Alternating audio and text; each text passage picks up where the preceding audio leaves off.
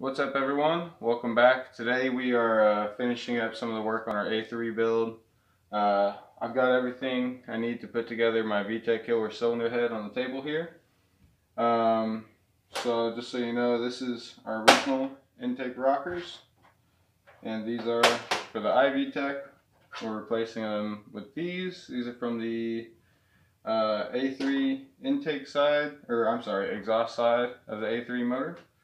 Um, and then these are the original exhaust rockers out of the uh, out of the old style A3 motors. These are not super common, but they are in some of them. If you do end up with a set of these in your motor, uh, what you need to do to make these work is you need to grind down these areas right here.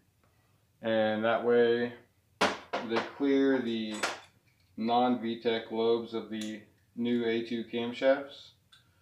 And on these rockers, you're also going to need to clearance them just a tiny bit right here and here. Uh, that way, because the lobe on the actual camshaft is wider than the roller, and it hits the inside of this rocker right here. Um, but I'm going to go ahead and finish clearancing these, and then uh, I'll show you how easy it is to put the actual rocker assembly together and we'll put it on the cylinder head. So starting to put together this rocker assembly, just grab the uh, whichever side you want to start with. This is the cam sensor side. And then get our intake shaft, exhaust shaft. Start by slipping this on.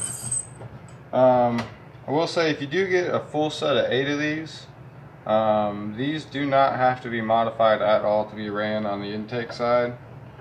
But uh, pretty much no matter what, unless you get, uh, I believe, K24 Z1, or I'm sorry, K24 Z3 rockers, they all have to be modified in some way to fit.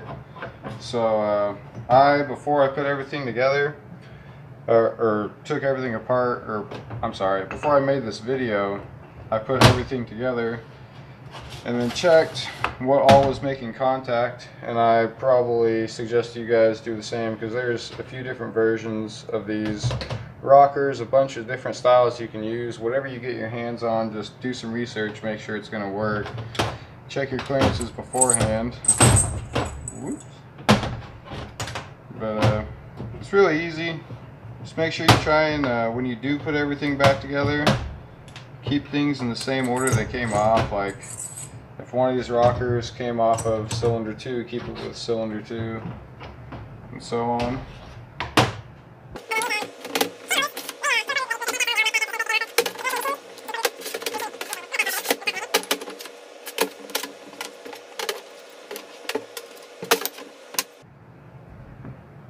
like that like Legos.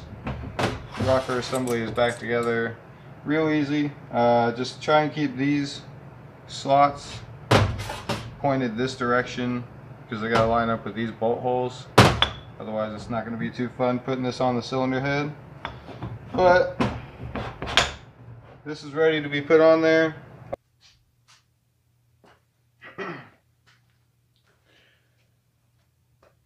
So as you can see here, we've got our rocker assembly set inside our uh, cylinder head, both sides with the new uh, single lobe rockers on there that are clearance and everything. So now our next step is to uh, put a set of camshafts, or put the A2 camshafts in the head and get everything timed properly, which really shouldn't be too bad. And I'll uh, go ahead and get that done.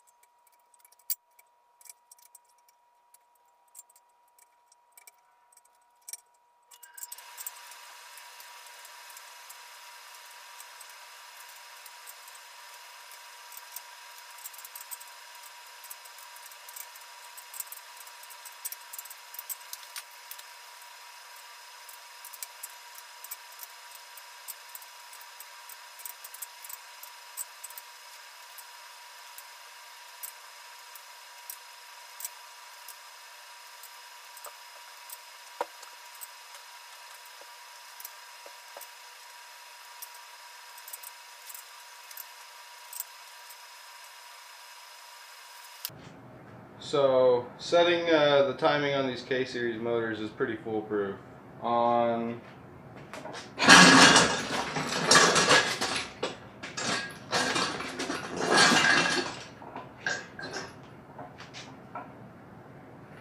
this side of the motor, there's holes right here where you can get a tool, uh, tool from Honda and uh, just put some pins in there and it holds the cams in the correct position for your timing.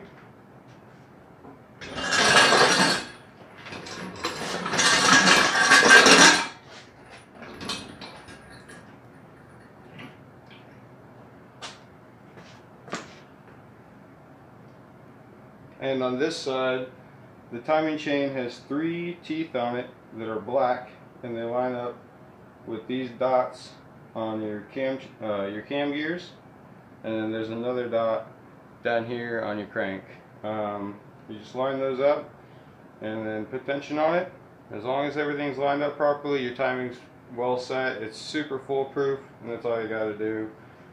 So once you set your timing and everything's torqued down properly it's that's it you got yourself a VTEC killer cylinder head um, I hope you enjoyed the video today. Thank you for watching and as always have a great day.